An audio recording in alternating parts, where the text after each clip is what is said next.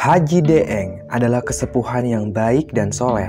Beliau adalah seorang kiai sekaligus guru tasawuf. Haji Deeng punya sebuah pesantren salafi atau pesantren tradisional yang terbuat dari gubuk-gubuk bilik bambu.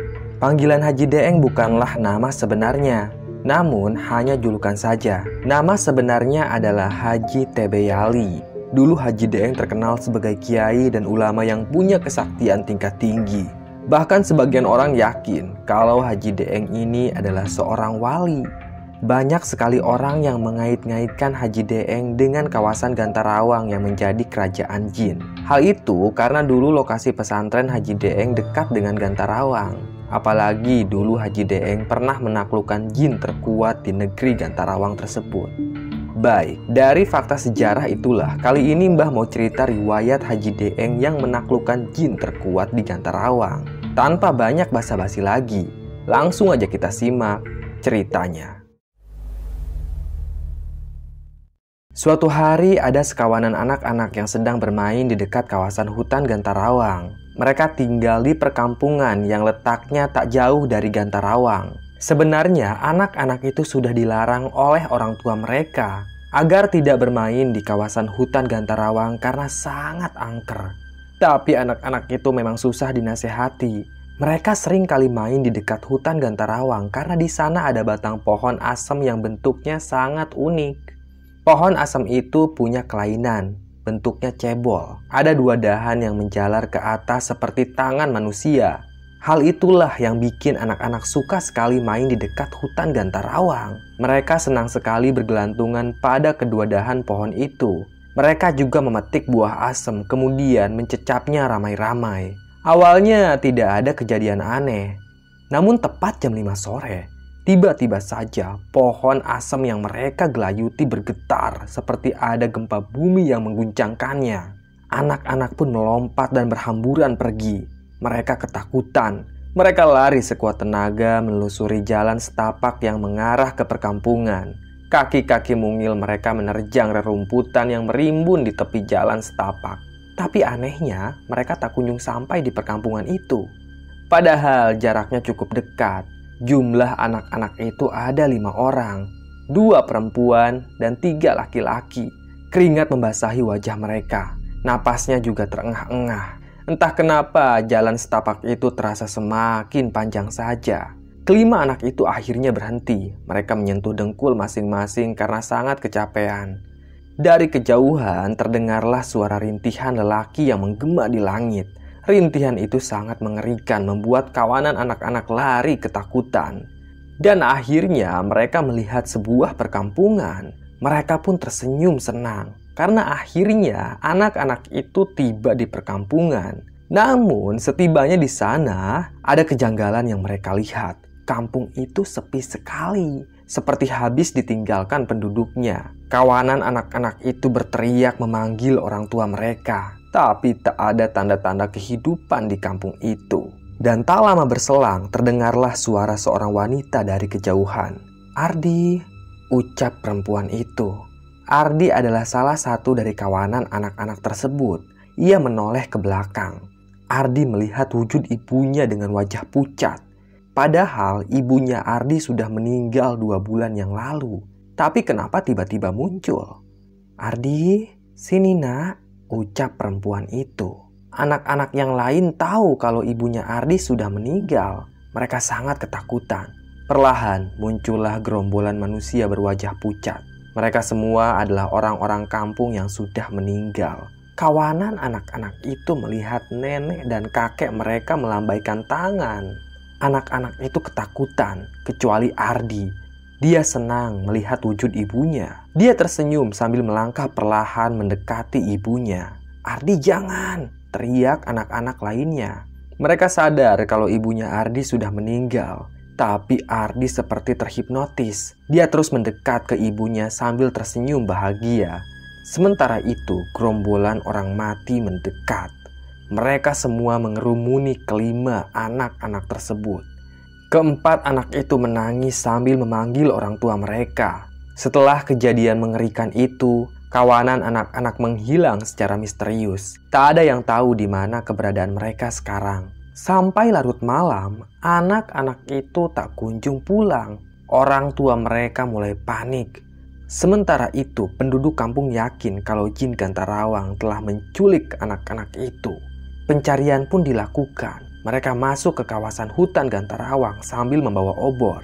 Penduduk kampung itu juga membawa dua orang dukun untuk melacak keberadaan anak-anak yang hilang. Tapi sampai larut malam, pencarian itu sama sekali tidak membuahkan hasil. Bahkan mereka tidak menemukan tanda-tanda keberadaan kelima anak itu. Singkat cerita, keesokan harinya, kedua dukun yang dipercaya masyarakat juga ikut menghilang secara misterius. Bahkan sesajen yang kemarin diletakkan di pinggiran hutan Gantarawang juga ikut menghilang. Warga makin panik saja. Mereka tidak tahu harus berbuat apa. Akhirnya, pimpinan kampung meminta bantuan dukun dari desa lain. Dukun itu terkenal sangat sakti. Dia bisa menyembuhkan orang yang terkena santet, juga orang yang kesurupan. Bahkan tahun lalu, dukun itu berhasil menemukan anak yang diculik oleh Wewe Gombel. Nama dukunnya adalah Abah Jangkung. Jangkung dalam bahasa Sunda artinya tinggi. Dia dijuluki seperti itu karena memang perawakannya yang tinggi. Tak ada yang tahu nama asli Abah Jangkung. Warga dari dulu memanggilnya seperti itu. Saat Abah Jangkung melakukan ritual, ia menyuruh warga agar tidak keluar rumah. Malam itu sekitar jam 12, Abah Jangkung pergi ke hutan Gantarawang. Dia membawa sebuah kampek atau tas yang terbuat dari bekas karung goni. Di dalam tas itu ada kembang tujuh rupa, kemenyan, dan pisau kecil yang dibungkus dengan kain kafan warna putih. Abah Jangkung membawa sebuah obor. Cahayanya berayun-ayun di tengah kegelapan malam. Setibanya di hutan Gantarawang, Abah Jangkung duduk sila. Dia menancapkan obornya. Abah Jangkung juga mengeluarkan kembang tujuh rupa dan membakar kemenyan. Pisau kecil yang dibungkus dengan kain kafan ia letakkan di hadapannya.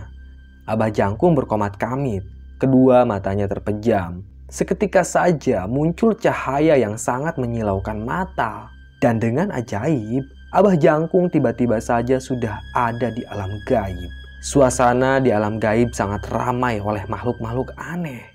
Tubuh makhluk itu memang berbentuk manusia, namun wajahnya sangat aneh. Ada yang matanya penuh belatung, ada yang lidahnya menjulur keluar sampai menyentuh tanah, bahkan ada yang ususnya terburai. Abah Jangkung tidak takut sama sekali. Dia perlahan berdiri. Ini bukan pertama kalinya Abah Jangkung masuk ke alam gaib. Dia sudah biasa melihat makhluk-makhluk aneh itu. Abah Jangkung berjalan perlahan menelusuri kampung gaib. Dan tak lama kemudian, ia melihat makhluk yang berbeda dari yang lain. Makhluk itu bertubuh besar dan tinggi. Bulu hitam memenuhi tubuhnya. Kedua matanya menyala-nyala. Lelaki tua itu pun dapat merasakan energi gaib di dalam tubuh makhluk tersebut. Kembalikan mereka, kata Abah Jangkung. Makhluk itu tidak menjawab. Ia malah meraung dengan sangat mengerikan. Makhluk dengan tubuh besar dan tinggi itu adalah penguasa hutan Gantarawang. Dialah yang menyembunyikan kelima anak dan dua dukun yang menghilang beberapa hari lalu. Abah Jangkung sudah kehabisan kesabaran. Kemudian dia duduk sila, mulutnya berkomat kamit. Dan dari belakang Abah Jangkung muncullah dua harimau putih. Itu adalah harimau gaib peliharaannya Abah Jangkung Kedua harimau itu sudah mengalahkan banyak sekali makhluk gaib. Dan kini Abah Jangkung berniat untuk menghabisi penguasa Gantarawang menggunakan harimau gaib peliharaannya. Peliharaan gaib milik Abah Jangkung menyerang makhluk berbadan tinggi dan besar. Namun tampaknya serangan kedua harimau itu tak mampu merobohkan penguasa Gantarawang. Penguasa hutan Gantarawang menghentakkan kakinya Seketika saja kedua harimau gaib peliharaan Abah Jangkung mental. Abah Jangkung kaget. Dia tak menyangka ternyata penguasa Gantarawang sangat sakti. Segera Abah Jangkung mengeluarkan pisau dari bungkusan kain kafan. Ia pun melompat dengan sangat tinggi.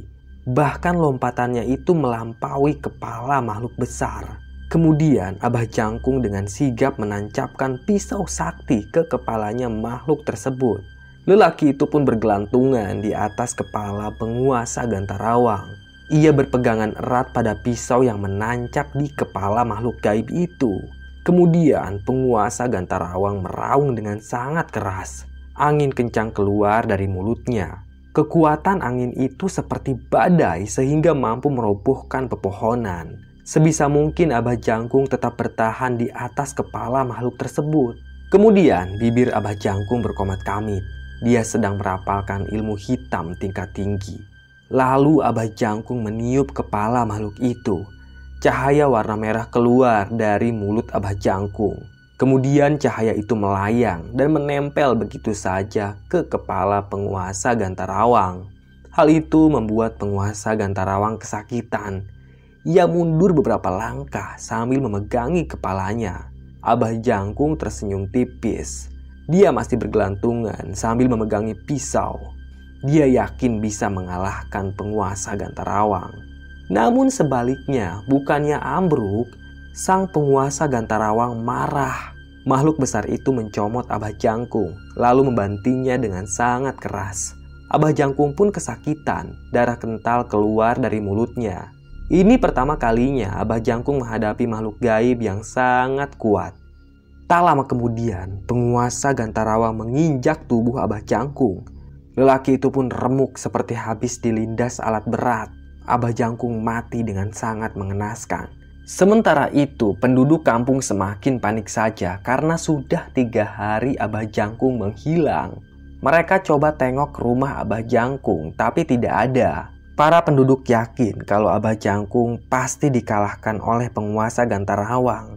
Mereka tidak tahu saja kalau Abah Jangkung ini sudah tewas. Selang lima hari, tiba-tiba saja ada wabah aneh yang melanda perkampungan. Tubuh mereka gatal-gatal, lalu timbul bintik-bintik bening yang menjijikan. Kalau bintik itu pecah, wabah penyakit lambat laun mulai merambat ke pondok pesantren Salafi milik Haji Deeng. Santri beliau terkena gatal-gatal. Banyak santri yang menderita akibat penyakit yang disebabkan oleh jin dari hutan Gantarawang. Pesantren Haji Deeng memang terpisah dari pemukiman warga. Saat itu, warga juga belum tahu soal kesaktian yang dimiliki Haji Deeng. Bagaimana ini Kiai? Santri banyak yang terserang penyakit aneh, ucap salah satu santri senior. Haji Deeng tersenyum tipis. Ia keluar dari rumahnya. Kala itu Haji Deeng mengenakan sendal bakiak. Lalu beliau berjalan dengan santai menuju hutan Gantarawang. Dan setibanya di sana, semua makhluk yang ada di hutan Gantarawang menampakkan dirinya. Namun Haji Deeng tak ketakutan sama sekali. Lelaki itu malah tersenyum tipis. Kemudian muncullah makhluk besar dan berbulu hitam legam. Makhluk itulah yang sudah membunuh Abah Jangkung. Kini dia akan melakukan hal yang sama pada Haji Deeng. Makhluk penguasa hutan Gantarawang meraung dengan sangat keras. Dia mengangkat kaki kanannya dan hendak menginjak Haji Deeng. Namun sebelum makhluk itu berhasil menginjak Haji Deeng, Tiba-tiba saja muncul petir yang menggelegar. Petir itu menyambar kaki penguasa Gantarawang. Makhluk besar itu pun terjungkal. Padahal dari tadi Haji Deeng diam saja. Kemudian saat makhluk besar itu masih terkapar di atas semak-semak, tiba-tiba saja tubuh Haji Deeng melayang cukup tinggi. Angin berhembus dengan sangat kencang. Kedua mata Haji Deeng mengeluarkan cahaya yang sangat terang. Dia mengarahkan tangan kanannya pada makhluk besar itu. Tampaknya makhluk tersebut kesakitan. Dia meraung dengan sangat keras. Tubuhnya perlahan sobek lalu hancur berkeping-keping. Setelah itu tampaklah lima anak kecil terkapar di atas semak-semak. Juga ada dua dukun yang sempat menghilang secara misterius. Dengan kesaktian yang dimiliki Haji Deeng, beliau membawa orang-orang hilang itu keluar dari alam gaib. Dan keesokan harinya, warga menemukan kelima anak dan dua dukun terkapar di pinggiran hutan Gantarawang. Wabah penyakit juga menghilang secara misterius. Saat itu tak ada yang tahu kalau Haji Deenglah yang sudah menaklukkan penguasa Gantarawang selesai. Terima kasih sudah menyimak cerita Mbah. Tunggu cerita-cerita lainnya ya. Tetap sehat dan salam merinding.